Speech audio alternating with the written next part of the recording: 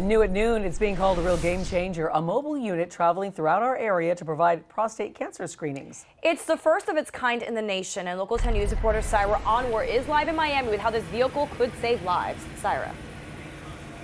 So, Christy and Janice, September is actually Prostate Cancer Awareness Month, and when it comes to diagnosing prostate cancer early in high-risk communities, a new mobile unit like this one could actually be a game changer.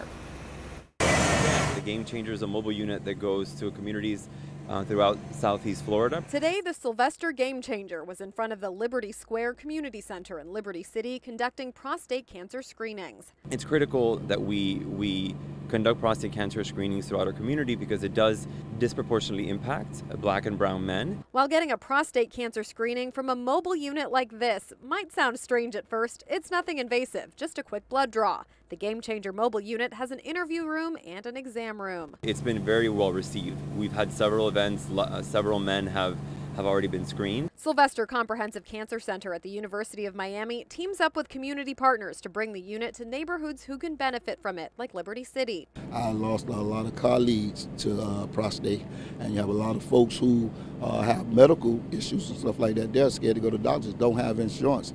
And now that it's free and they bring it here in our community, I think it's real good and very important. According to Sylvester data, when they catch prostate cancer early on, there's a 95% chance they can cure it. But when you catch it when it has spread beyond the prostate, there's only a 25 to 30% chance of survival.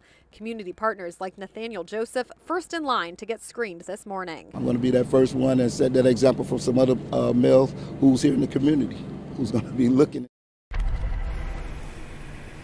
And to find out if and when this mobile unit will be in your community, we do have a website, a link to a website posted on our website. Just head to local10.com.